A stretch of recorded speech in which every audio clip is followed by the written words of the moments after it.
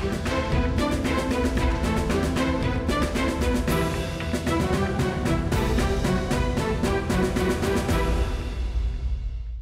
علیکم، آپ دیکھ رہے ہیں کرا میرا نام مبشر لکمان ہے اور ہر روز میرا دل کرتا ہے کہ میں آپ کو اچھی خبر سناؤں۔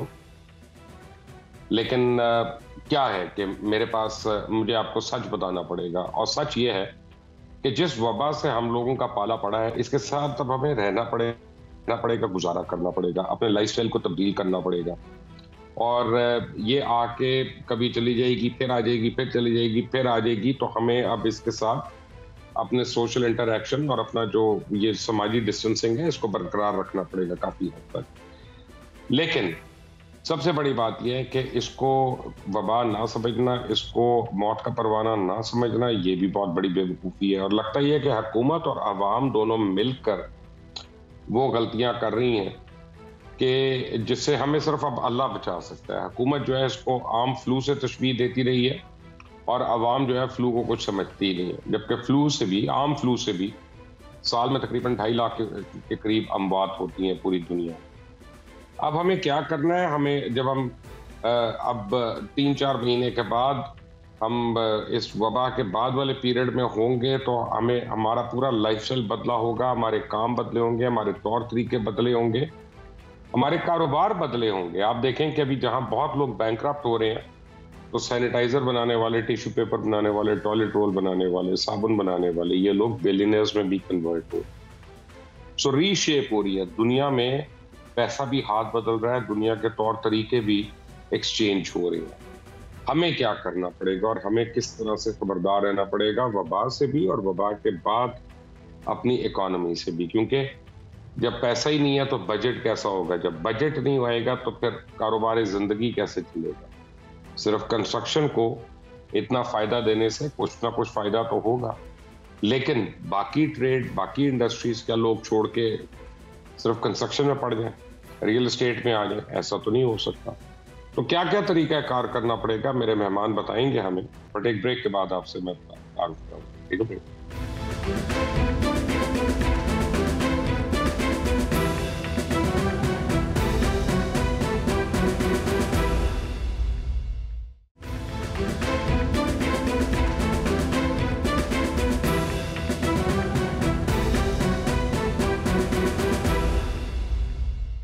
welcome back from the break اور ہمارے بہت ہی سینئر اور ہمارے قابل دوست ہیں، ہم ان سے رہنمائی بھی لیتے ہیں۔ وقتاً فوقتاً جناب ارشاد عارف صاحب، انہوں نے ہمیں جوائن کیا روزمہ نائنٹی ٹو کے یہ ایڈیٹر بھی ہیں۔ مظہر عباس صاحب، کسی تعارف کے محتاج نہیں ہیں سینئر تجزیہ کار ہیں۔ اور بہت ریگولرلی کھرا سچ میں آپ ان کو دیکھتے بھی ہیں۔ صابر شاہ صاحب جو ہیں دا نیوز کے انویسٹیگیٹو ایڈیٹر ہیں۔ بڑا تجربہ رکھتے ہیں اور ریسرچ اورینٹڈ ان کی بڑی اسٹیٹمنٹس ہوتی ہیں۔ اور میری اسپیشل ریکویسٹ بھی آئی ہیں ڈاکٹر عثمان ایوب۔ یہ پہلے تو وائی ڈی اے میں ہوتے تھے، اب کنسلٹنٹس میں ہیں۔ بہت سینئر اور قابل ترین ہمارے ڈاکٹر ہیں اور عثمان ایوب کو بلانے کی ایک خاص وجہ ہے۔ کیونکہ Usman Ayub by profession anaesthetist ہیں۔ اور ہمارے ملک میں جب وینٹیلیٹرز کی ہم بات کرتے ہیں تو وہ لگانا ہوتا ہے انسٹیٹسٹ اور سچی بات یہ ہے کہ ہمارے پاس وینٹیلیٹرز کا تو پتہ نہیں انسٹیٹسٹ بھی بہت کم ہے۔ اور جب یہ اگر ایک دفعہ پچاس ہزار یا چالیس ہزار کا لوڈ پڑتا ہے تو پھر ہمارے ڈاکٹرز کیا وکٹمز بنتے جائیں گے کہ آگے سے خود بھی کچھ کر سکیں گے؟ پوچھتے ہیں پہلے ان سے، پھر اپنے تجزیہ کاروں سے بات کرتے ہیں۔ ڈاکٹر عثمان ایوب، خدا نہ خاص سچویشن جب زیادہ بری ہوتی ہے، کیونکہ جو کہ لگتا ہے ہوگی، ہم ٹیسٹ ہی نہیں کر رہے، جب ٹیسٹ ہی نہیں کر رہے تو ہم اپن پازیٹیو نمبرز کم آ رہے ہیں۔ چائنیز کہتے ہیں کہ دس میں سے ایک ہمارا پازیٹیو آ رہا ہے، یہ تو شنگائی میں بھی ان کے پاس یعنی سٹیٹس نہیں تھے، ان وہاں پہ بھی ہنڈریڈ میں سے ایک ہوتا تھا یا دس میں سے ایک ہو رہے ہیں۔ تو ابھی تو لگتا ہی ہے کہ ہم بڑا میجر ہٹ آنے والی ہے ہمارے اسپتالوں کو ڈاکٹر عثمان ایوب شکریہ سر۔ پہلی چیز اگر آپ انٹرنیشنل ٹرینڈ کو فالو کریں تو بیسیکلی اس کی پیک آتی ہے between seven to ninth week اور پاکستان جو ہے سیونتھ ویک میں انٹر ہو رہا ہے۔ اور یہ اس میں جو نیکسٹ ٹو ویکس ہیں دے آر ویری کروشل اور there may be a very steep peak you can you will see a very steep price اور اس میں uh, آگے اگر آپ بات کریں تو اس کے دو ہی طریقے ہیں بچنے کے. ایک ہے سوشل ڈسٹینسنگ اور دوسری ہے آپ کے ہائیجین کا خیال کرنا. اور اگر ہم اس کے کاؤنٹر کرنے کی کوشش کریں، جیسے کہ ہمارے پاس آلریڈی جو بیڈ ٹو پیشنٹ ریشو ہے اور جو ہاسپٹل ہیں ہماری پاپولیشن کے مطابق ہم ڈبلیو ایچ او کے اسٹینڈرڈ سے بہت پیچھے ہیں. اور اس کرائسس میں جب جوک در جوک ہسپتالوں کا لوگ ہسپتالوں میں داخل ہوں گے اور ان کو وینٹیلیٹرز چاہیے ہوں گے، تو ہم بہت شدید دشواری کا شکار ہو جائیں گے۔ امریکہ جیسا فرسٹ ورلڈ کنٹری بھی آج کل بے بس نظر آ رہا ہے۔ وہاں پہ جو پیشنٹ وینٹیلیٹر پہ جا رہے ہیں، ان کا مورٹیلٹی ریٹ جو ہے that is eighty three percent یعنی کہ سو میں سے تراسی مریض جو وینٹیلیٹر پہ جاتے ہیں، وہ مر جاتے ہیں، صرف سترہ مریض بچتے ہیں۔ اور پاکستان میں فیسلٹیز اگر آپ اس کو دیکھیں، جس طرح کا ایک اسپیشل روم ہونا چاہیے، وہ نیگیٹو پریشر ہونا چاہیے وینٹیلیٹر کی تعداد بہت زیادہ ہونی چاہیے، وہ ہم اس میں بہت پیچھے ہیں۔ تو ہمارا اگر یہ سچویشن کرائسس ڈیولپ ہوتا ہے، تو ہمارا ڈیتھ ٹول وینٹیلیٹر والے جانے والے پیشنٹ پہ نائنٹی پرسینٹ سے اوپر ہوگا۔ اور سر، اس میں کچھ چیزیں جو جن پہ میں آپ کے توجہ دلانا چاہوں گا معزز پینل کی، وہ یہ ہے کہ ڈاکٹرز جو کہ فرنٹ لائنرز ہیں نرسز پیرامیڈکس اور میں ڈاکٹر اسامہ کا ذکر کرنا چاہوں گا، جو ہمارے پہلے شہید تھے اس کرائسس کے۔ اور دوسرا سر ڈاکٹرز میں اس وقت جو تشویش کی لہر ہے وہ او پی ڈی او پی ڈیز کھولنے کے حوالے سے ہے۔ جہاں پہ ہم اس کا انٹرنیشنل ڈیلیگیٹس بھی ہمیں یہ کہ بتا کے گئے ہیں کہ آپ سوشل ڈسٹینسنگ کریں۔ اگر آپ ہمارے ہاسپٹلس کا جائزہ لیں تو وہاں پہ ہزاروں کی تعداد میں روز مریض آتے ہیں۔ اور اگر چند انفیکٹڈ لوگ بھی ہیں وہ ہزاروں کو ڈیلی بیسس پہ انفیکٹ کر سکتے ہیں۔ تو سر، پالیسی ریویو کرنا بہت ضروری ہے۔ اگر جو ہمارے ڈاکٹرز ہیں جو فیس کر رہے ہیں سچویشن کو وہ بہت زیادہ انریسٹ کا شکار ہیں کیونکہ نہ ہی ہمارے پاس ایڈیکویٹ پی پیز ہیں اور نہ ہی ہماری پالیسی جو ہے وہ گراؤنڈ ریالٹیز کو دیکھ کے بنائی جا رہی ہے۔ ارشاد عارف صاحب آپ نے سنا ڈاکٹر عثمان ایوب کی بات کیا فرمائیں گے آپ؟ یہ جو جناب عمران خان صاحب کو شوق چڑھا ہوا ہے کنسٹرکشن انڈسٹری کو اوپن کرنے کا اور باقی بہت ساری انڈسٹریز کو اوپن کر رہے ہیں پریشر گورنمنٹ کو قبول نہیں کرنا چاہیے بلکہ گورنمنٹ کو جو ماہرین کہتے ہیں، طبی ماہرین کہتے ہیں جو چائنیز ہمیں مشورہ دے رہے ہیں، کیونکہ اس وقت رول ماڈل امریکہ کے بھی اور یورپ کے بھی اور ہمارے بھی چائنیز ہیں جنہوں نے کرونا سے لڑائی کی ہے اور جنگ ایک لحاظ سے جیت لی ہے۔ تو اگر وہ سارے کہہ رہے ہیں کہ لاک ڈاؤن ہی واحد حل ہے سوشل ڈسٹینسنگ ہی واحد حل ہے، تو پھر ہمیں ایسا کوئی خطرہ مور نہیں لینا چاہیے جس کی وجہ سے ہماری جو بیس بائیس کروڑ کی آبادی ہے، جہاں نہ تو صحت کا جو معاملہ ہے، اتنا تسلی بخش ہے، کیونکہ اگر چالیس فیصد لوگ جو ہیں، ان کو، ان کے، ان کو صحیح غذا نہیں ملتی، صحیح درست خوراک نہیں ملتی، وہ کمزوری کا شکار ہیں، یہاں صحت کی سہولتیں نہ ہونے کے برابر ہیں۔ ایسی صورت میں اگر آپ مثال کے طور پر یہ او بی ڈی آپ نے کھول دی، دباؤ آیا کہ یہ ہم کیا کریں؟ کیا دنیا میں جہاں جہاں یہ معاملہ چل رہا ہے، امریکہ ہے، برطانیہ ہے، دوسرے ممالک میں وہ کیا کر رہے ہیں؟ ہم جب ہزاروں کی تعداد میں جس طرح ڈاکٹر صاحب بتا رہے ہیں، ہر او پی ڈی میں پہنچ جائیں گے لوگ، ان میں اگر ایک بھی مریض ہوگا، دو بھی مریض ہوں گے، تو وہ سینکڑوں کو متاثر کریں گے۔ اسی طرح آپ کنسٹرکشن انڈسٹری کو یا کسی بھی انڈسٹری کو جب کھول رہے ہیں، لوگ ٹھیک ہے، وہاں آپ پابندی کرا سکتے ہیں اگر یہ وہ بھی نہیں ہوگی کہ وہاں جس فیکٹری میں کام ہو رہا ہے یا جس مکان میں پلازا میں کام ہو رہا ہے، وہاں آپ کوئی ایس او پیز پر عمل کرا رہے ہیں۔ لیکن وہ لوگ گھروں سے جب آئیں گے، کسی ویگن میں بیٹھ کے آئیں گے، اکٹھے ہو کے آئیں گے، کسی بس میں بیٹھ کے آئیں گے، اور جب وہ بیٹھیں گے کھانا کھانے، تو وہ اکٹھے بیٹھ کے کھانا کھائیں گے۔ اور جو کھانا دینے والے جن ہوٹلوں سے وہ کھانا لیں گے وہاں بھی کوئی مریض ہو سکتا ہے، تو میں سمجھتا ہوں کہ حکومت ایک طرف یہ کہہ رہی ہے کہ غریب کا کیا بنے گا اور دوسری طرف ساتھ ہی ساتھ غریب کے لیے مسائل اور مشکلات اور خطرات جو ہے وہ بڑھاتی چلی جا رہی ہے۔ اس کا حل یہی تھا جو پہلے دن سے لوگ کہہ رہے تھے کہ لاک ڈاؤن جو ہے سخت قسم کا پندرہ دن کے لیے، بیس دن کے لیے، زیادہ سے زیادہ اٹھائیس دن کے لیے کر دیا جاتا۔ میں مبشر صاحب، اپنے تجربے کی بنیاد پر یہ کہہ رہا ہوں کہ اس ملک میں جو ایک زرعی ملک ہے، کوئی شخص انشاء اللہ تعالیٰ نہ کبھی پہلے بھوک سے مرا ہے، نہ آئندہ مرے گا۔ لوگ ہم اتنے جنرس ہیں ہمارے، اتنی فیاضی لوگوں کے اندر ہے کہ وہ اپنے ہمسایوں کے قریب کے محلے داروں کے جو غریب لوگ ہیں، گھروں میں کام کرنے والے، ان کی روٹی پانی کا دو وقت کی، تین وقت کی روٹی کا بندوبست کر سکتے ہیں۔ حکومت اگر کچھ بھی نہ کرے تو لوگ کر سکتے ہیں۔ لیکن جب حکومت یہ کر بھی رہی ہے تو یہ کام پہلے کرنے کا تھا۔ اب خطرات کو بڑھایا جا رہا ہے، کم نہیں کیا جا رہا۔ یہ جو اب امداد دی جا رہی ہے، آپ کا خیال ہے کہ یہ سارے مستحق لوگوں تک جائے گی۔ یہاں پروفیشنلز ہیں۔ میں نے سیلاب کے دنوں میں دیکھا ہے، زلزلے کے دنوں میں دیکھا ہے۔ لوگوں کے کمرے بھرے ہوئے تھے راشن سے اور اس کے باوجود باہر کھڑے ہو کے وہ شور مچا رہے تھے ہمیں کچھ بھی نہیں ملا۔ یعنی ایک ایک سال کا راشن بھی ہمارے ہاں یہ لالچ اور تما کا ایک ایسی بیماری ہے ہمیں ناشکرے پن کی ایسی بیماری ہے کہ ایک سال کا راشن میرے پاس موجود ہوگا تو پھر بھی میں کہوں گا میرے پاس کچھ بھی نہیں ہے۔ بڑے بڑے فیکٹری اونر بڑے بڑے بلینر جو ہیں بڑے عجیب عجیب طریقے انہوں نے نکالے ہیں۔ مثلا میں ایک ارشاد بھائی میں ایک بندے کو جانتا ہوں۔ میں ایک بندے کو جانتا ہوں، مظہر صاحب کو بھی شامل گفتگو کروں گا۔ آج اس نے روتے ہوئے مجھے میسج بھیجا کہ جی آپ اہل نہیں ہیں۔ یعنی وہ اس نے اپلائی کیا تھا یہ امداد کا۔ اور میں جانتا ہوں اس کو بیچارہ بہت ہی بہت ہی بیچارہ معصوم گرانے کا ہے۔ تو وہ اصل میں کو پانچ سال پہلے سعودی عربیہ میں ملازمت کرتا تھا۔ وہاں پہ بھی لوڈر تھا وہ، یہ کچھ تھا۔ تو لوڈر کے بعد ایک سال اس نے کی اور ایک سال کے بعد واپس آ گیا۔ تو اب اس کا پاسپورٹ بنا ہوا۔ تو اس پاسپورٹ کو وجہ بنا کے انہوں نے کہہ دیا، آپ کوالیفائڈ نہیں، آپ کا تو پاسپورٹ بنا تو مگر عباس صاحب، آج آپ ہی کچی آبادیوں میں تو ایک ایک گھر میں سات سات لوگوں کو نکل آیا۔ خدا نہ خواستہ مجھے مجھے آنےسٹلی بڑا لگ رہا ہے کہ حکومت جو اس کی کوئی واضح پالیسی نہیں، حکومت صرف یہ دعا کر رہی ہے کہ ہرڈ امیونٹی ڈیولپ ہو جائے گی اور سارے ٹھیک ہو جائیں گے۔ لیکن جب یہ ہمارے سر پہ پڑے گا اگلے ہفتے آ کے، تو پھر اس کا کون ذمہ دار ہوگا؟ کسی کو تو ذمہ داری لینی پڑے گی نا اس کی۔ جی شکریہ مبشر۔ دیکھیے، میں ارشاد عارف صاحب کی بات سے سو فیصد ایگری کرتے ہوئے، ڈاکٹر صاحب جو ابھی بات کہہ رہے تھے آج شام کو ہی وزیر اعلیٰ سندھ سے کچھ سینئر جرنلسٹ اور اینکرز کی ملاقات ہوئی۔ میں بھی اس میں شامل تھا۔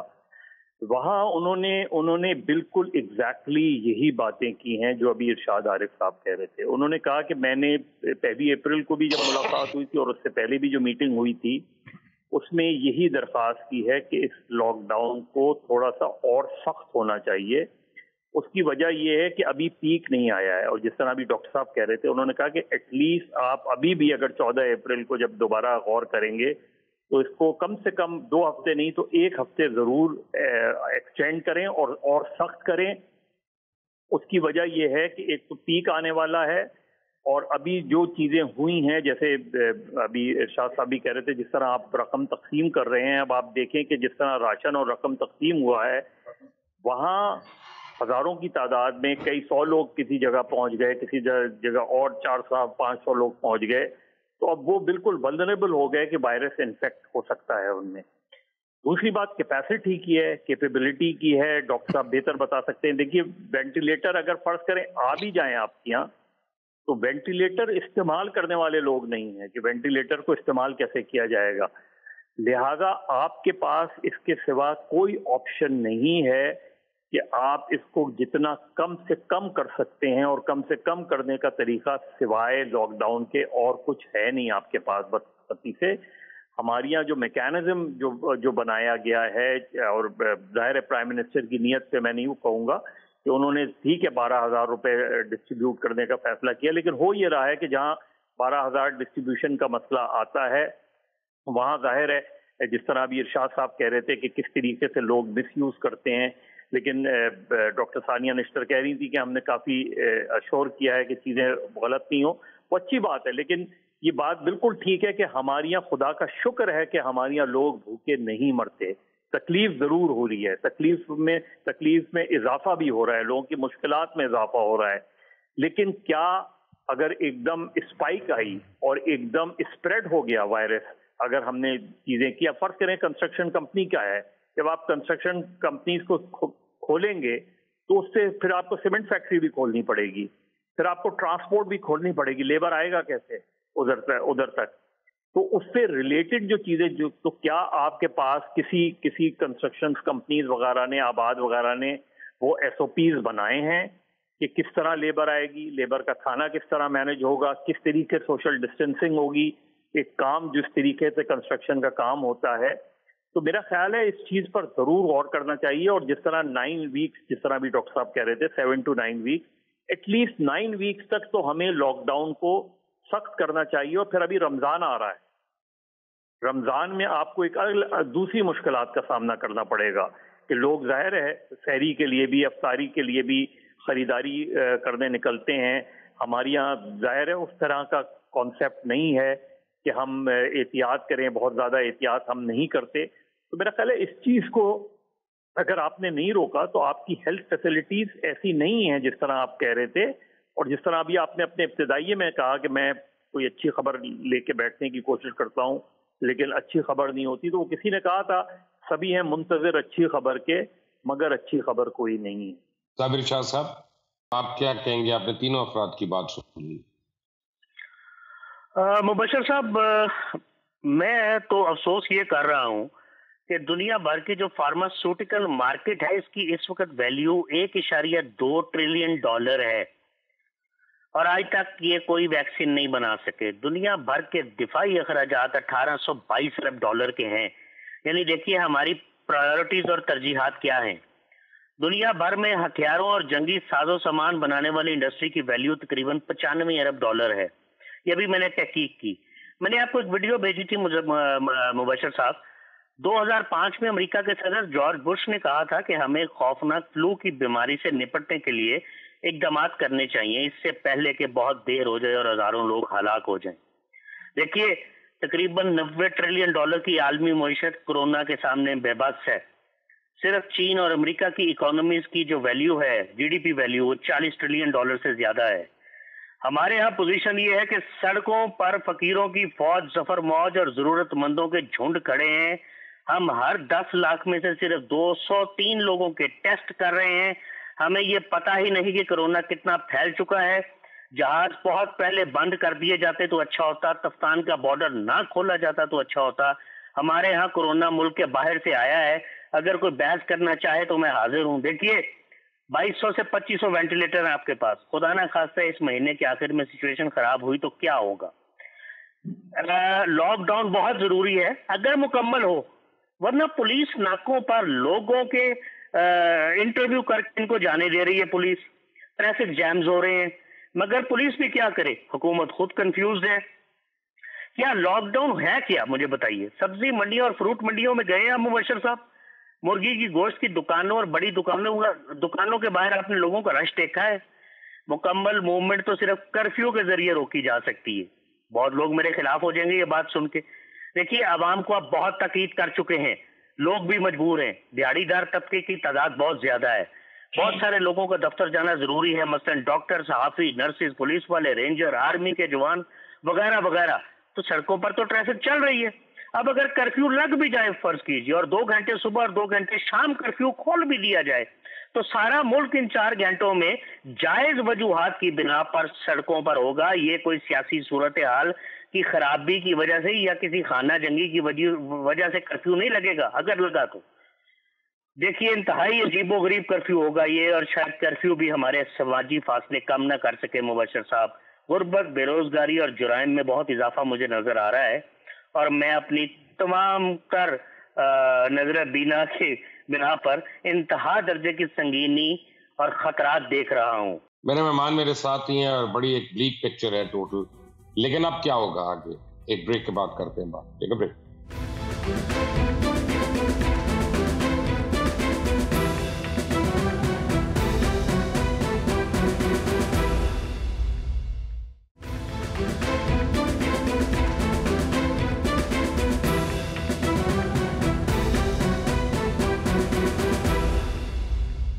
welcome back doctor Usman Ayub prime minister بھی کہتے ہیں کہ اس مہینے کے آخر تک پچاس ہزار ہمارے پیشنٹس ہو سکتے ہیں۔ اور یہ ابھی بھی ایک محتاط اندازے کے مطابق آٹے میں نمک کے برابر ہیں تو آپ لوگ، آپ اینسٹسٹ ہیں، آپ وینٹیلیٹر لگانے والے ڈاکٹر ہیں، آپ کیسے ڈیل کریں گے ان چیزوں سے؟ یہ بتائیں۔ انہوں نے ایک دن میں ساٹھ پیشنٹس کو انٹیبیٹ کیا۔ تو اس کی دو وجوہات تھیں۔ ایک تو یہ تھی کہ پیشنٹ ٹرن اوور بہت زیادہ تھا۔ اور دوسرا یہ تھا کہ یہ جو کوالیفائڈ لوگ تھے انیسیجیا سے ریلیٹڈ وہ انفیکٹ ہو کے آئسولیشن میں جائی جا رہے تھے۔ تو یہ پرابلم ہمیں دیکھنی پڑ سکتی ہے۔ ہمارے پیشنٹ ٹرن اوور بھی بہت زیادہ ہونے کا خدشہ ہے۔ انسٹیٹس جو ہیں آلریڈی بہت تھوڑی تعداد میں ہیں پاکستان میں۔ اور میں بتاتا چلوں کہ جب پیشنٹ کو ہم انٹیبیٹ کرتے ہیں تو یہ اس سب سے میکسیمم ایکسپوجر کا خطرہ ہمیں اس وقت ہوتا ہے۔ تو یہ دونوں چیزیں مد نظر رکھنی پڑیں گی۔ حالانکہ میرا یہ ڈومین تو نہیں ہے، لیکن میں ایز ایک شہری کی حیثیت سے ایک گزارش کرنا چاہتا ہوں کہ اگر پاکستان میں آج بلدیاتی ادارے موجود ہوتے تو آج ٹائیگر فورس کی ضرورت نہ پڑتی۔ سر آن اے لائٹر نوٹ اگر آج بھی حکومت اعلان کر دے کہ تین ماہ بعد بلدیاتی الیکشن کیے جائیں تو ہر گھر میں راشن پہنچ جائے گا۔ تو سر، یہ ہماری شارٹ کمنگز ہیں as a society as a nation اور سر سوشل ڈسٹینسنگ پہ میں بار بار فوکس کرنا چاہوں گا۔ اگر ہم او پی ڈیز کھولیں گے تو لوگوں کا رش آئے گا، ایک دوسرے کو انفیکٹ کریں گے۔ اور ڈاکٹرز اور آلریڈی ہمارے پاس جو پی پیز ہیں وہ کم ہیں۔ ڈاکٹرز انفیکٹ ہوتے چلے جائیں گے اور ہماری جو ورک فورس ہے، جو ہیومن ریسورس ہے، وہ ڈپلیٹ ہوتی چلی جائے گی۔ ابھی سر اب یقین کریں کہ ہم آپریشن تھیٹرز کے اندر جو ہمارے ڈسٹ بن کے لیے جو پلاسٹک کے بیگز ہوتے تھے، ہم اس کو پہن کے پیشنٹ کو انیسیزیا دیتے ہیں۔ کئی دفعہ ہمارے پاس پی پیز موجود نہیں ہوتے۔ یہ وہ اوتھ ہے جس کے انڈر ہم کام کرتے ہیں۔ Sir as an as young consultant association Pakistan ہم اپنا پیشہ بھی بھرپور طریقے سے اس میں کام کر رہے ہیں۔ ہم راشن کے اوپر اور پی پیز پرووائڈ کرنے کے اوپر بھی کام کر رہے ہیں۔ سر یہ سب کے لیے سمجھنا ضروری ہے کہ یہ ایک اتنا بڑا کرائسس ہے کہ گورنمنٹ اس کو ٹیکل نہیں کر پائے گی اکیلے۔ تو ایز اے نیشن ہمیں یہ چیزیں کرنی پڑیں گی۔ تھوڑا سا پرابلم ہمیں یہ آئی ہے کہ شروع میں اس جو وبا کو بہت ایک ایزی اس میں پروجیکٹ کیا گیا ہے کہ اس سے ڈرنا نہیں ہے، لیکن سر ایکچولی یہ ڈرنے والی بات ہے۔ اور جیسے آپ نے فرمایا کہ میں بھی کوئی خوشی کی خبر میں بھی بتانا چاہتا ہوں، لیکن انفارچونیٹلی میرے پاس بھی نہیں ہے۔ ارشاد عارف صاحب میں نے تو پرائم منسٹر کو پہلے دن کہا تھا جب میری ملاقات ہوئی تھی، میں نے کہا تھا کہ یہ بڑا سیریس ایشو ہے۔ تو اس وقت بھی انہوں نے یہی کہا تھا، نہیں نہیں، یہ ہم لوگوں کو اتنا افیکٹ نہیں کرے گا۔ اتنا کیجول ایٹیٹیوڈ کیوں ہے ہمارا اس بیماری سے جو دنیا میں اشر نشر مچا دیا جس نے؟ دیکھیں، اب تو وہ خود کہہ رہے ہیں کہ ہمیں اتنا اس کو سیریس لینا لینا چاہیے اور اتنا زیادہ یہ جو ہمارے ہاں رویہ ہے، غیر سنجیدہ، یہ نہیں ہونا چاہیے۔ اب تو دو تین سے وہ کہنا شروع ہو گئے۔ پرابلم ہمارے ہمارے ہاں یہ ہے کہ یہ ایک بیوروکریٹک انداز ہے کہ یہ نہیں ہوتا کہ جو اوپر بیٹھا ہوا آدمی ہے وہ براہ راست معلومات پر انحصار کرے، بلکہ وہ درجہ بدرجہ جو معلومات آتی ہیں نا، اور وہاں تک اس طرح پہنچتی ہیں کہ بالکل اس کو منیمائز کر کے پہنچایا جاتا ہے۔ نہیں سر، نہیں ایسے ہوگا، موسم تبدیل ہوگا اور لوگ جو ہیں وہ بڑے ان کے اندر ریزسٹنس بہت زیادہ ہے، قوت مدافع زیادہ ہے، ایسے ہو گئے۔ آخر میں جا کے اس وقت بتایا جاتی ہے صحیح صورتحال جب پانی سر سے گزر چکا ہوتا ہے۔ یہ ہمارا انداز ہے شاہانہ قسم کا یا بیوروکریٹک قسم کا کہ ہم خطرے کو اگر کوئی بھانپ بھی رہا ہے تو وہ آگے بتانے کی ضرورت نہیں کر رہا۔ اب دیکھیے، یہ کنسٹرکشن انڈسٹری کی بات ہو رہی ہے۔ آپ کس طرح ممکن ہے کہ آپ لاہور کے مثال دیتا ہوں، بیڈن روڈ تو پوری کی پوری کھول دیں اور ہار روڈ بند پڑی ہوئی ہو۔ بھائی، جو بیڈن روڈ جب کھلے گی تو ہار روڈ والا خود بخود کھول دے گا کہ جناب، میں نے کیا قصور کیا ہے کہ وہ تو کما رہا ہے اور میں گھر میں بیٹھا ہوں۔ ٹرانسپورٹ کی آپ کو ضرورت پڑے گی۔ اس وقت مبشر صاحب، جو سب سے زیادہ تکلیف میں ہے، وہ نچلا طبقہ نہیں ہے۔ یہ جو ہمارا سفید پوش طبقہ ہے، وہ اس وقت سب سے زیادہ مشکل میں ہے۔ غریب آدمی کو کہیں نہ کہیں سے کچھ نہ کچھ مل رہا ہے۔ حکومت کی طرف سے بھی مل رہا ہے این جی اوز کی طرف سے بھی مل رہا ہے۔ محلے دار بھی امداد کر رہے ہیں۔ وہ آدمی جو کما کے جس نے ایزی پیسہ کی ایک چھوٹی سی دکان کھولی ہوئی تھی، وہ روزانہ کما کے جاتا تھا اور جا کے کچھ نہ کچھ اس کو ملتی تھی۔ پرائیویٹ اسکول میں ملازم تھا، اب اس کا وہ بند ہو گیا ہے۔ ٹیوشن سینٹر جو چلا رہا تھا، اس کا ٹیوشن بند ہو گیا ہے۔ یہ وہ لوگ ہیں جو بیچارے مانگ بھی نہیں سکتے اور ان کی طرف توجہ بھی کسی کی نہیں ہے، نہ حکومت کی ہے، نہ ہم سب کی ہے۔ تو یہ سب سے زیادہ مشکل میں ہے لیکن بنیادی فیصلہ یہ کرنا ہے کہ بھوک جو ہے، ہم برداشت کر سکتے ہیں یا کرونا کو برداشت کر سکتے ہیں۔ کہ جی لوگ بھوک سے مر جائیں گے، لوگ بھوک سے نہیں مریں گے۔ کرونا تو یقینی موت ہے، خدا نخواستہ اگر پھیل جاتی ہے۔ تو اس لیے ہمیں اس کو سیریس بھی لینا چاہیے اور سوچنا بھی چاہیے۔ جب چائنیز ہمیں کہہ رہے ہیں کہ اٹھائیس دن کا لاک ڈاؤن کے بغیر کوئی چارہ کار نہیں ہے، جب دنیا میں ہمیں اٹلی میں، اسپین میں، امریکہ میں نظر آ رہا ہے کہ جن ممالک نے تاخیر کی لاک ڈاؤن میں وہ نقصان اٹھا رہے ہیں اب امریکہ جیسے ملک میں ہزار سے نیچے جو اموات کی تعداد ہے، نیچے آ ہی نہیں رہی۔ اور نیو یارک جو سب سے ترقی یافتہ ان کا اور پیسے والا شہر ہے، وہاں جو حالت ہے وہ آپ کے سامنے ہے۔ تو اس لیے ہمیں کیجول ایٹیٹیوڈ بالکل نہیں ہونا چاہیے۔ غریب آدمی کی یا دہاڑی دار کی کے بارے میں ضرور سوچنا چاہیے، لیکن اس کی زندگی کے بارے میں پہلے سوچنا چاہیے۔ اس کی نیڈز بعد میں آتی ہیں، پہلے اس کی زندگی آتی ہے، اس کے بچوں کی زندگی آتی ہے۔ ہم نے اس کی زندگی کو خطرے میں ڈال دیا، اس کے بچوں کی صحت کو خطرے میں ڈال دیا۔ تو پھر وہ راشن کس کام کا؟ بارہ ہزار روپے کا وہ کیا کرے گا؟ تو اس لیے حکومت کو اس بارے میں سنجیدگی سے اگلے بیس دن، پچیس دن جو ماہرین کہتے ہیں، وہ ہمیں کر دینا چاہیے۔ اور یہ بات جو صابر شاہ صاحب کہہ رہے ہیں کہ یہ ویکسین تلاش نہیں ہوئی، دیکھیں بیماری اب آئی ہے تو ویکسین پہلے کہاں سے اس کی بنا لی جاتی؟ ابھی بنے گی، وہ بھی بن جائے گی۔ لیکن جو ایک اویلیبل ہمارے پاس موجود ہے راستہ، جو ہمیں چائنیز بتا رہے ہیں، جو ہمیں خود بھی سمجھ میں آ رہا ہے، اس سے ہم اعتراض کر رہے ہیں، اس میں ہم تاخیر کر رہے ہیں۔ اور اس کا زیادہ نقصان ہونے کا اندیشہ ہے، کیونکہ اگر ٹیسٹ زیادہ نہیں ہو رہے اور مریض زیادہ نہیں آ رہے تو اس سے مطمئن ہونے والی بات نہیں ہے۔ جو جو ٹیسٹ ہو رہے ہیں جہاں جہاں، تو ان آبادیوں کا آپ اندازہ کریں جہاں صحت صفائی کی سہولتیں ہی بالکل نہیں ہیں۔ اور جو لوگ یہ شعور ہی نہیں رکھتے کہ جناب سوشل ڈسٹنسنگ کتنی ضروری ہے اور قوت مدافعت پیدا کرنے کے لیے جو غذا انہیں چاہیے، جو خوراک چاہیے، وہ ان کو اویلیبل ہی نہیں ہے۔ تو اس لیے جتنی تاخیر ہوگی میں تو سمجھتا ہوں نقصان ہوگا اور یہ پاپولیرٹی تو آپ گین کر سکتے ہیں غریب غریب پکار کے، لیکن اس کی غریب کی بھلائی نہیں سوچی جا رہی۔ پرابلم یہ ہے مظہر عباس صاحب کہ آپ کے پاس نا وہاں پہ آپ لوگ یو آر ناٹ بلیسڈ جس طرح سے ہم لوگوں کے اوپر اللہ کا بڑا کرم ہے، ہمارے پاس عثمان بزدار ہے، چیف منسٹر پنجاب کے۔ ہمارے ناکے بھی آج ختم ہو گئے۔ ہیں بلکہ دو دن سے ختم ہو گئے پولیس کے ناکے روکنے والے لوگوں کو یہ وہ۔ اور ہمارے یہاں پنجاب حکومت اعلان کرتی ہے کہ بیس فیصد ہم کٹوتی کریں گے یا کرنی ہوگی پرائیویٹ سکولز کو۔ پرائیویٹ سکولز کہتے ہیں، ہم مانتے ہی نہیں تمہاری بات، ہم چیلنج کر رہے ہیں۔ تاجروں نے آج کہہ دیا کہ چودہ تک ہم دیکھ رہے ہیں، پندرہ کو جو بھی تم کرو کرو۔ ہم تو دکانیں کھول رہے ہیں۔ ہماری تو گورنمنٹ کی ریٹ نہیں ہمیں نظر آ رہی، پتہ نہیں کہاں پہ ہے وہ گورنمنٹ نہیں، بالکل صحیح کہہ رہے ہیں۔ دیکھیں مبشر بنیادی جو کیمپین تھی، ہم نے بنیادی مہم ہی غلط شروع کی تھی، جس کا سلوگن تھا۔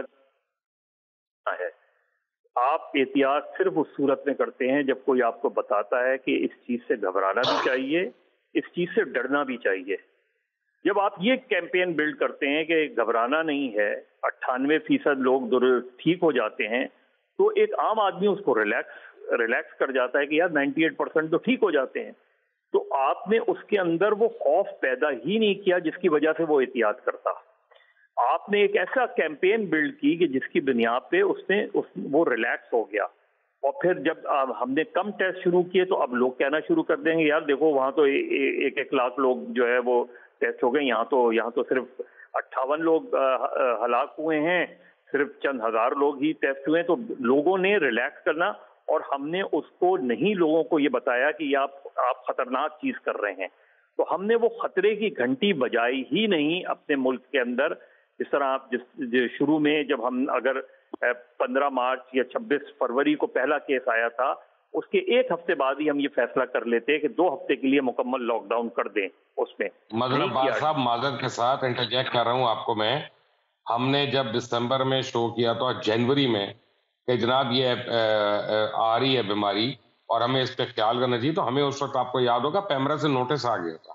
آپ کیا باتیں کر رہے ہیں؟ ہاں، بالکل یہی یہی دیکھیں نا آپ اس کا نتیجہ کیا ہوا؟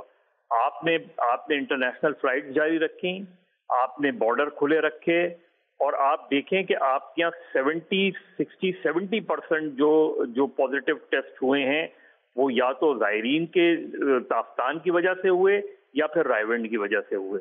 اور ابھی بھی جو آپ آپ یہ جس طرح ابھی آپ پنجاب کا بتا رہے تھے، تو پنجاب میں جو پہلی تاریخ کو میٹنگ ہوئی تھی نیشنل کوآڈینیشن کمیٹی کی، اس نے یہ، اس نے وہ پرائیورٹیز طے کی تھی۔ لیکن پنجاب نے کوئی چھتیس کے قریب ان کا نوٹیفیکیشن کر دیا، ان کو ریلیکس کر دیا۔ اب یہ پریشر جو ہے، اور یہی بات آج چیف منسٹر سے جب کی گئی، تو انہوں نے کہا کہ ہم پہ بھی دباؤ بہت ہے، ہم پہ انڈسٹریلسٹ بھی آ رہے ہیں۔ فیکٹری اونرز بھی آ رہے ہیں، لیکن ہم نے یہ طے کیا ہے کہ ہم ہر چیز کے ایس او پیز پہلے بنائیں گے۔ ان ایس او پیز کے ساتھ ہم ہم کھولنا شروع کریں گے۔ کیونکہ کراچی میں آپ کو پتا ہے، کراچی میں دو ڈھائی کروڑ لوگ رہتے ہیں۔ اور یہاں وہ جو جو بارہ ہزار کی فیسلٹی ہے، اس میں بھی پرابلم یہی آ رہی ہے کہ یہاں یہاں زیادہ تر لوگوں کے شناختی کارڈ کا جو ایڈریس ہے، وہ یا، وہ اپ کنٹری کا ہے۔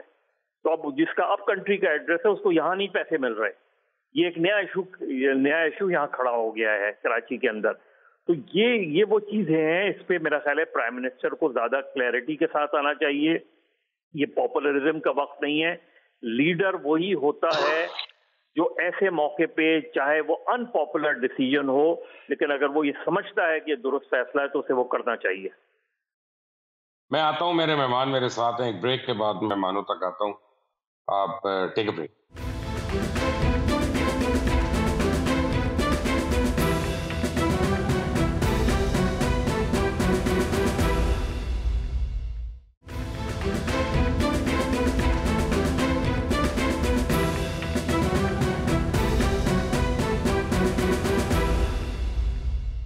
welcome back from the break Sabir Shah صاحب آپ کیا دیکھ رہے ہیں؟ حکومت آپ کی ڈسیزنز نہیں دے رہی اور یہاں پہ بھی پاپولر ڈسیزنز uh, لینے کی کوشش کر رہی ہے۔ لیکن وہ پورے ہم سب کو بہا کے لے جانا ہے اس پاپولر ڈسیزن نے خدا نخواستہ۔ تو ہمیں کیا کہنا جی؟ کس طرح ہم حکومت کو اپنی باور کریں؟ پہلے تو ہمارے محترم دوست ارشاد عارف صاحب نے کہا، میری کسی بات کے جواب میں، تو میں نے بتاتا چلوں کہ تین مہینے تو ہو چکے ہیں کورونا کو پھیلے ہوئے۔ ابھی تک علاج نہیں ملا کوئی دوائی یا ویکسین ایجاد نہیں ہوئی میں تو افسوس کر رہا ہوں۔ اور پھر میں نے دنیا کی ترجیحات کی بات کی اور دوائیاں بنانے والی کمپنیوں کے وسیع وسائل کی بات اچھا اگر تین مہینے میں اس معاملے میں کوئی پیش رفت نہیں ہوئی تو یہ انتہائی افسوسناک اور بڑی تشویش والی بات ہے۔ میڈیکل سٹور چلانے والا آدمی یا ہسپتال میں کام کرنے والا ڈاکٹر تو دوائی نہیں بنائے گا۔ خیر اس میں کوئی شک نہیں کہ تباہی آتی ہے وبائیں آتی ہیں، تباہی مچاتی ہیں، لوگوں کو مارتی ہیں اور پھر جا کے دوائی یا ویکسین ایجاد ہوتی ہے۔ یہ وہ وبا ہے کہ جس کی وجہ سے انسان انسان سے ڈر رہا ہے۔ اگر گھر میں کو دو دفعہ کھانسے تو سب اس کو تشویش کی نظر سے دیکھتے ہیں۔ جہاں تک آپ کی بات ہے حکومت والی، تو دنیا میں اس وقت سب حکومتوں پہ اسی قسم کی تنقید ہو رہی ہے جیسی ہم عمران خان پہ کر رہے ہیں۔ ہاں مجھے اعتراض یہ ہے کہ جو ٹائیگر فورس ہے، یہ ساری کی ساری انٹرینڈ ہے۔ یہ کیا کرے گی؟ پچاس کروڑ روپے کی وردیاں آپ نے سلوا دی یونیفارم سلوا دیے۔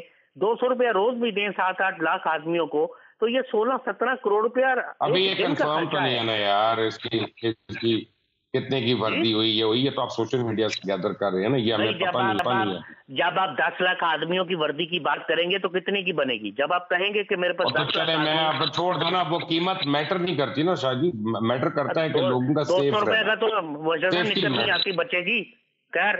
جنگوں کی حالت میں اور وباؤں کی تباہ کاریوں کے دوران بھی سینکڑوں کمپنیاں ترقی کرتی ہیں جیسے آپ نے فرمایا اس میں ادویات بنانے والی اور بیچنے والی بھی شامل ہوتی ہیں اس میں خوراک بنانے والی کمپنیاں بھی بہت اوپر چلی جاتی ہیں کنسٹرکشن اور ہاؤسنگ سیکٹر انڈسٹری بہت پیسہ کماتی ہے میں صرف چند مثالیں دے رہا ہوں اگر آپ اجازت دیں تو میں آپ کو بتاؤں کہ عراق کی جنگ میں آپ کو یاد ہے ڈک چینی کی کمپنی نے جائز یا ناجائز طریقے سے بھی اربوں ڈالر کمائے تھے علی بٹر کا نام تھا جی۔ ٹھیک ہے اور کنسٹرکشن انڈسٹری کے حوالے سے میں دو سیکنڈ آپ کے لینا چاہتا ہوں۔ دیکھیے یہ اس کی جی۔ مالیت تقریباً تیس ارب ڈالر یا پانچ ٹریلین روپے ہے۔ یہ تحقیق میں نے ایپٹما کے سابق صدر گور اجاز صاحب کے ساتھ مل کے کی دو تین دن پہلے میں نے آپ سے شیئر بھی کیا۔ پھر جب میں نے تحقیق کی تو ایک فرانسیسی فرم جو ڈیٹا کلیکشن اور مارکیٹ انٹیلیجنس کا کام کرتی ہے اس کا ایسٹیمیٹ بھی یہی ہے کہ پاکستان کی کنسٹرکشن انڈسٹری کی ویلیو ستائیس ارب ڈالر ہے۔ مباشر صاحب آج سے آٹھ دس دن پہلے اسٹاک ایکسچینج اوپر گیا۔ تو اس کی مارکیٹ کیپٹلائزیشن تینتیس ارب ڈالر تھی۔ اس سے آپ اندازہ کریں کتنی بڑی وسیع انڈسٹری ہے۔ سو یہ معمولی سی ایک روشنی کی کرن ہے اور جہاں تک اچھی خبر کی بات ہے تو میں صرف ایک پیش گوئی کر سکتا ہوں کہ اگر حالات خراب ہوتے ہیں اللہ نہ کریں ہو تو ابھی تو آپ انفلیشن کی بات کر رہے ہیں یہاں ڈیفلیشن بھی ہو سکتی ہے۔ اگر مال خریدنے والا کوئی نہیں ہوگا تو پھر بیچنے والے قیمت کہاں سے لیں گے؟ تو ممکن ہے خدا نہ خاصہ خدا نہ خاصہ کتابوں میں ہم نے پڑھا کہ ایسی سچویشن ہو تو ڈیفلیشن بھی ہو جاتی ہے۔ جی جی۔ پرابلم ایک اور ہے۔ اب ڈاکٹر عثمان ایوب، مجھے لگتا ہے کہ اب یہ سوشل ڈسٹینسنگ جو ہے، یہ ہماری زندگی کا حصہ بن جائے گی۔ کہ جیسے ہم کھلے اڈیلے ہو کے گلے ملتے تھے یا ہاتھ ملاتے تھے جپیاں ڈالتے تھے، اب آنے والے وقت میں وہ سب ہمیں کرٹیل کرنا پڑے گا۔ یہ اب we have to live with this مجھے یہ لگ رہا ہے۔ سر، ابھی کرائسس کی سچویشن میں تو بہت ضروری ہے اور اس کے علاوہ کوئی حل نہیں ہے۔ لاک ڈاؤن اگر پالیسی بناتے ہیں پاپولر ویو رائڈ نہیں کرنی چاہیے۔ اگر لاک ڈاؤن کی پالیسی ہے تو اس پہ اسٹرکٹلی امپلیمنٹیشن کریں۔ اور کراؤڈ مینجمنٹ مینجمنٹ پلانس دیں ان ایریاز میں جن کو اوپن رکھنا چاہتے ہیں، جیسے کہ ہاسپٹلز ہیں اور چیزیں ہیں۔ تو یہاں پہ کوئی کراؤڈ مینجمنٹ پلان نہیں ہے۔ اور سر دوسرا یہ کہ پولیٹیکل گورنمنٹ کا کام ہوتا ہے انگیج کرنا۔ جیسے آپ نے ابھی دو دن پہلے دیکھا ہوگا کہ کوئٹہ کے ڈاکٹرز پی پیز مانگنے آئے تو ان پہ تشدد کیا گیا۔ تو اس سے بھی گورنمنٹ کو اس طرح کی ایکٹیویٹیز سے اجتناب کرنا یار ویسے عثمان صاحب آپ کو ایک میں بات بتاؤں۔ آپ کو میں قطع کلامی ہو رہی ہے آپ کو میں ایک بات بتاؤں۔ یہ ڈاکٹروں کے اوپر ہاتھ اٹھانا پولیس کا لاٹھی چارج ہونا اس سے بدترین مثال اور اس سے برے ٹائم پہ یہ ہم رقم نہیں کر سکتے تھے۔ پوری دنیا ڈاکٹروں کو سلوٹ کر رہی ہے اور ہم ڈاکٹروں کو کٹ رہے ہیں اور جیلوں میں ڈال رہے ہیں۔ کمال نہیں ویسے ہمارے اوپر۔ سر ڈاکٹروں کو مار رہے ہیں نوکریاں چھین رہے ہیں ڈاکٹرز کو ہاسپٹل سے گھر بھیج رہے ہیں۔ مجھے ان کی گورنمنٹ کی پالیسیز پتہ نہیں گورنمنٹ کی پالیسی ہے کہ لوگوں کے پرسنل کنفلکٹس ہیں، لیکن ایک پولیٹیکل انگیجمنٹ کی ضرورت ہے، عوام کے ساتھ ایک کنیکٹ کرنے کی ضرورت ہے۔ اور یہاں پہ مجھے نظر آتا ہے کہ گورنمنٹ اور عوام کے درمیان جو ہے نا گیپ زیادہ ہے۔ پولیٹیکل وزڈم کی ضرورت ہے اس وقت اور نیشنل ہارمنی کی ضرورت ہے اس کرائسس کو ڈیل کرنے کے لیے۔ اور سر اللہ کرے، میں اس دعا کے ساتھ اپنی بات ختم کروں گا۔ اللہ میں اس کرائسس سے نکالے۔ اور سر ہمارے جو میں اسلام پیش کرتا ہوں جو ہمارے doctors nurses paramedics front liners اس کے ساتھ لڑ رہے ہیں سر بہت سے ڈاکٹرز ٹیکنیشین بھی۔ لیب ٹیکنیشین سر بہت رسک پہ ہیں وہ بھی۔ اور سر لیول تھری لیبس ہمارے پاس اویلیبل ہی نہیں ہیں۔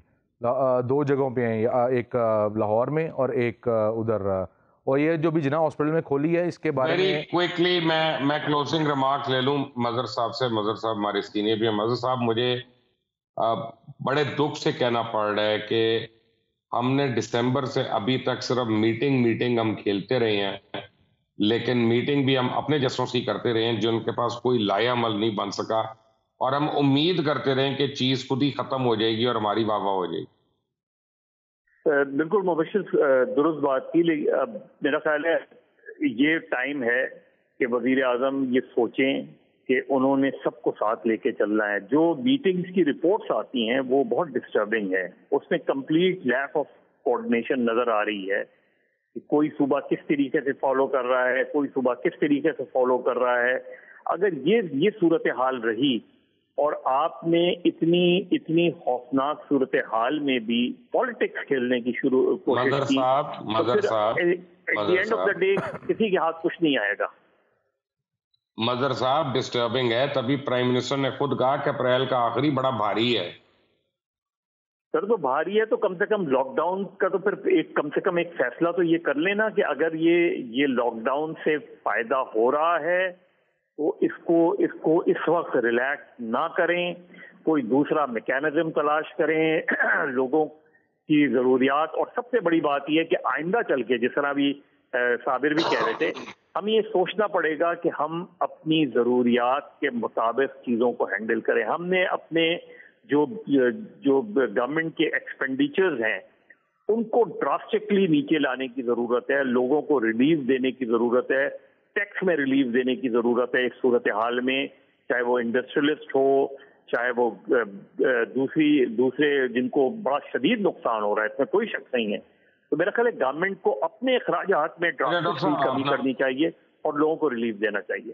پچھلے دو ہفتے تین ہفتے کے اندر بات ہوئی ہے اور اللہ کا کرم ہے ہمارا پروفیشن ایسا ہے کہ لوگ جتنا مرضی مصروف ہوں وہ ہمیں ضرور بات کرتے رہتے تو وہ یہ ان کی مہربانی ہے کہ میرے بہت زیادہ ڈاکٹر سے میری بات ہوئی اسپیشلسٹ ہوئی پیتھولوجسٹ سے ہوئی ہسپٹالوجسٹ ہوئی اینستھیٹسٹ سے ہوئی پلمنالوجسٹ سے ہوئی ان ساروں سے اور میں اس نتیجے پہ پہنچا ہوں کہ ہمیں ارجنٹ بیسس سے پچھلے چار ہفتے میں کہیں نہ کہیں سے ٹیسٹ کٹس منگاتے رہنا چاہیے تھا۔ زیادہ سے زیادہ ہم ٹیسٹ کرتے رہتے، ہم دس ہزار ٹیسٹ ایک دن میں کرتے، پندرہ پندرہ ہزار ٹیسٹ ہم ایک دن میں کرتے۔ ہم جو مرضی ہمیں ریسورس اس کے اوپر لگانا تھا تھا۔ اور وہ ہمیں ایک ڈسیزن صحیح دیتا کہ ہم نے لاک ڈاؤن کرنا ہے، کس طرح کا کرنا ہے، کتنا سویئر کرنا ہے۔ اب جب اصل میں ہمارے پاس ٹیسٹ کٹس ہم کم ہوں اور ہم پانچ سو ہزار، دو ہزار ٹیسٹ کر رہے ہوں اور based on that on that ہم کہتے ہیں یار دو سو بندوں کے لیے ہم دو کروڑ کی آبادی کو لاک ڈاؤن کر کے رکھ دیں، یہ کتنی انفیئر بات ہے۔ تو ایکچولی ہماری ججمنٹ جو ہے وہ کلاؤڈیڈ ہے۔ بیکاز اس کے لیے ڈیٹا اتنا زیادہ نہیں ہے۔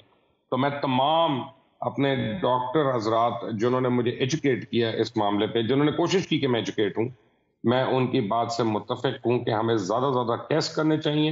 اور اور زیادہ زیادہ سیفٹی اپنے اسٹاف کو پیرامیڈکس کو اور لیب ٹیکنیشینس کی سیفٹی کے لیے۔